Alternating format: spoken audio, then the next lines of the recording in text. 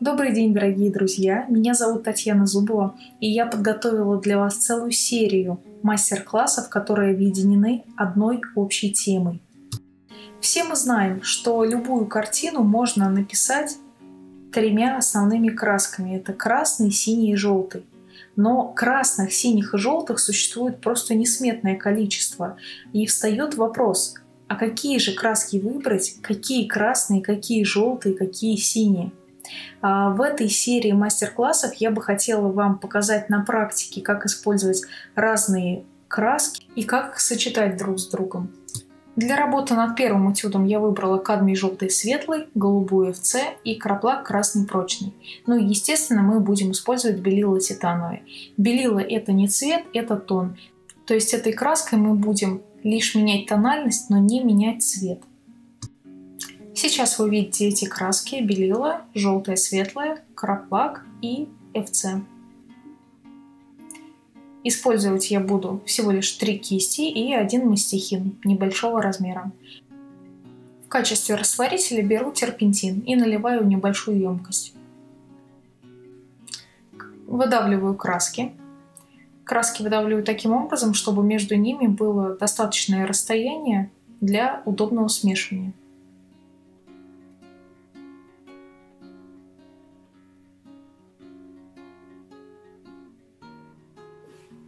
Кисти мы будем сегодня использовать маленького формата, поскольку размер у нас совершенно маленький, такой вот этюдный. А, использовать будем щетинки небольшие и синтетическую кисть для прорисовки деталей. Работу над этюдом мы начинаем над набросочка. Набросок такой абсолютно схематичный, нейтральной краской. А, мы смешали все три краски, синий и красный и желтый, только в разных пропорциях. И сейчас кисточкой достаточно жидкого содержания начинаем прописывать вот такой вот легкий-легкий набросок. На этапе наброска мы, конечно же, не вырисовываем никаких деталей, мы просто обозначаем схематично, где будут располагаться основные предметы. Накидала листву,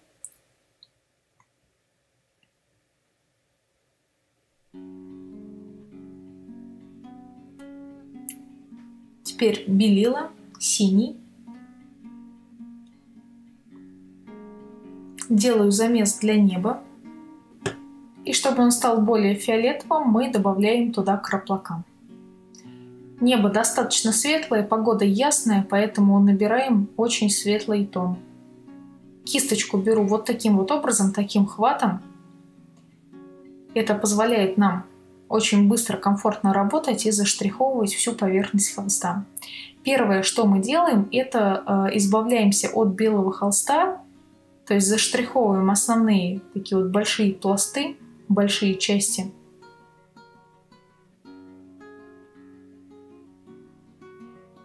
Я решила еще светлее сделать небо.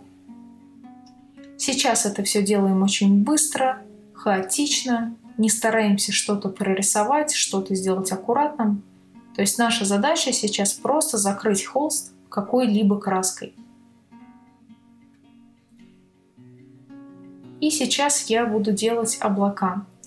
Облака, хоть и кажутся нам белыми, но белыми они не являются. Поэтому для облаков мы замешиваем а, такой вот розовато-персиковый оттенок. Это белила, капелька красного и буквально маленькая-маленькая капля желтого. А, набираем все это на пальчик и прикасаемся пальцем с достаточным количеством краски на небо совершаем круговые движения и выписываем облака. Прикасайтесь пальцем в различных углах, постарайтесь совершить как можно более разнообразные движения. Но с таким акцентом, что верхушки облаков у нас должны быть четкие, а все нижние части мы размываем как бы. То есть мы создаем такой вот контур облаков, а остальную всю часть вписываем в голубое небо.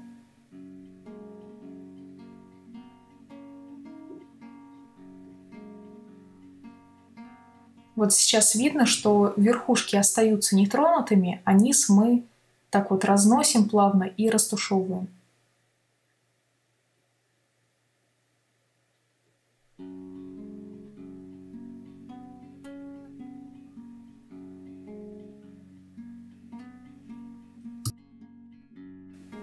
И делаю замес для гор. В тот самый голубой, которому мы писали небо, добавляю чуть больше синего – и начинаю вот такими вот движениями создавать рельефы гор. Постарайтесь кисть держать таким вот образом плашмя и показывать именно верхушки, именно вот такие вот кончики макушки гор. Чуть-чуть более красного для таких вот ярких, насыщенных гор на переднем плане.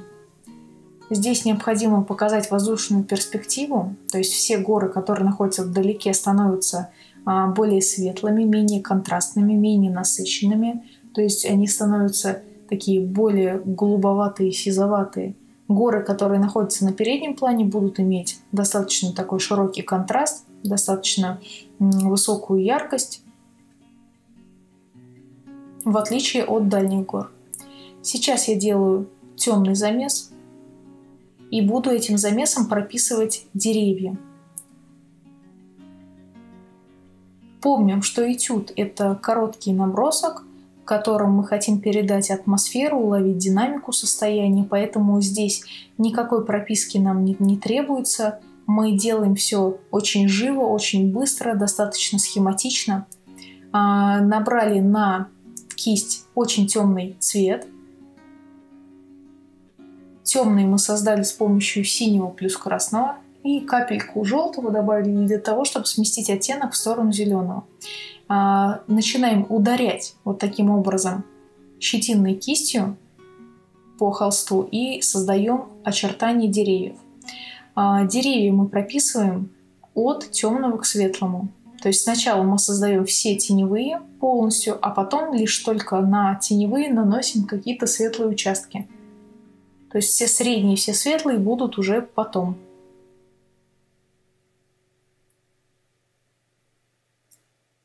Мы сейчас работаем в таких вот стесненных условиях, ну, ограниченно стесняем себя. Мы выбрали всего лишь несколько красочек и э, пару кисточек и один мастихин имитируем себе такое вот пленерное занятие, когда мы выходим на улицу, не хочется брать с собой весь арсенал своих рабочих инструментов, чтобы не нести все это на себе, весь этот груз. Поэтому вот ограничим себя даже в студийных условиях.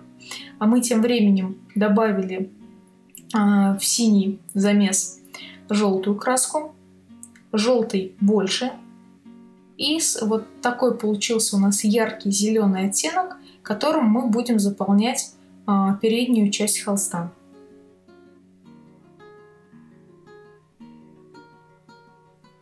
Для подобных работ выбирайте, пожалуйста, вот кадмий желтый светлый обязательно натурального состава, не имитацию, поскольку пигмент нам здесь будет играть очень важную роль. Широкими размашистыми движениями начинаю прописывать передний план. Абсолютно не стараюсь сделать это аккуратно. Повторюсь, это набросок. Мы делаем все очень быстро, все очень э, относительно. Для дальнего плана выбираю такой вот голубоватый оттенок по той же самой причине, воздушная перспектива.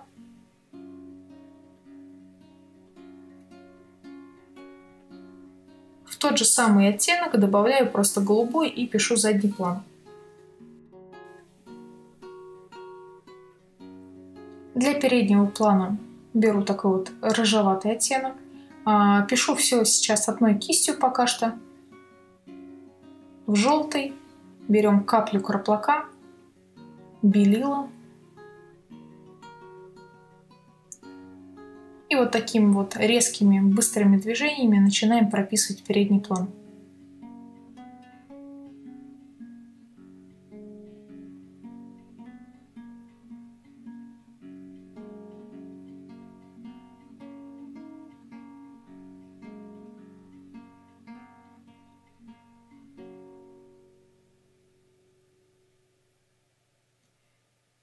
Сейчас я создаю имитацию травы. Кисть беру плашмя. Это у меня щетинка. И вот такими ударными движениями вертикальной направленности, но с небольшими такими зигзагообразными мотивами, начинаю набирать травы на переднем плане.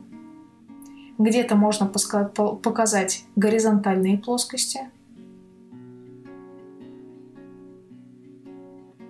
Вдалеке уже мы не сможем различить травинки, поэтому там работаем вот такими вот общими мазками. А на переднем плане выделяем все и стараемся показать и плоскости, и а, направление трав. Сейчас попеременно работаем темными и светлыми.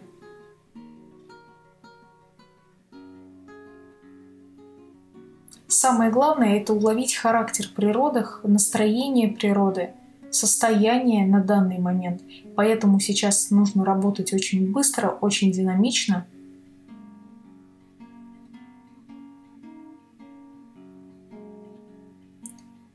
И прописываю светлые участки на деревьях. Вот такими тычинными движениями, то есть работаем, как будто ударяем такими маленькими-маленькими точками по темному дереву.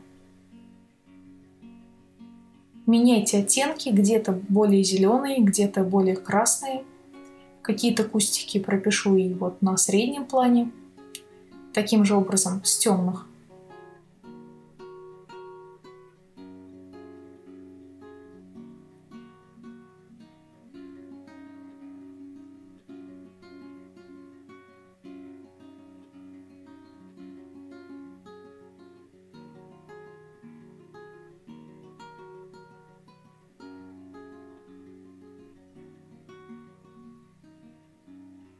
Опять-таки работаю уже светлой краской по темной подложке. Характер мазков вертикальной направленности. Кисточку берем за кончик и совершаем такие вот ударные движения.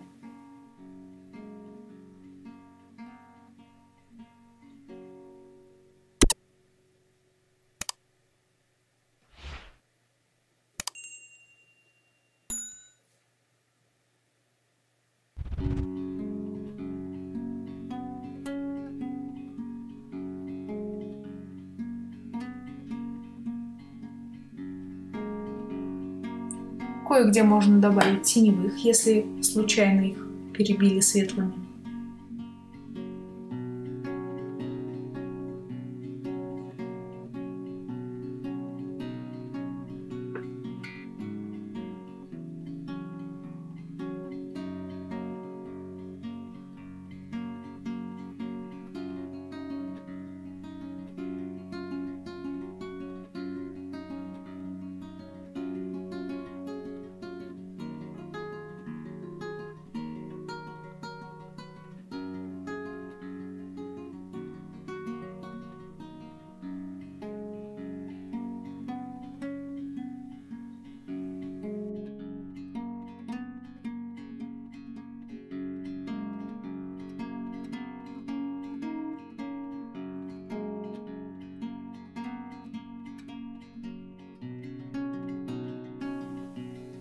Сейчас сделаю такой вот оранжеватый замес для того, чтобы прописать домики.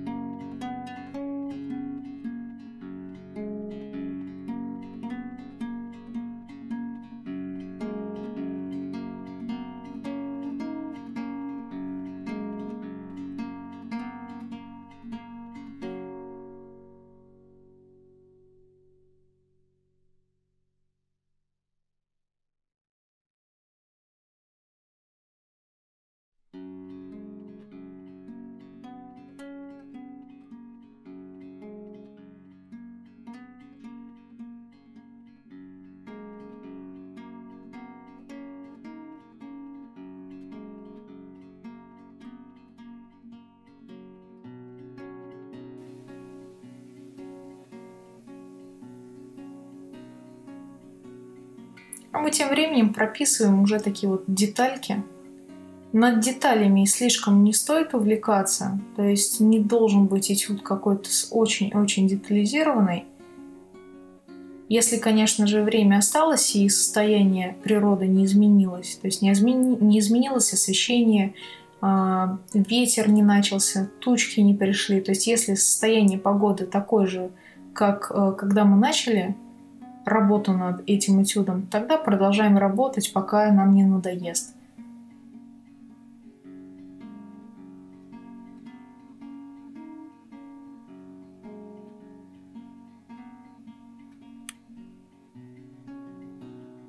Самое главное, что мы сейчас уже ухватили настроение, такое вот солнечное, летнее, по-настоящему теплое.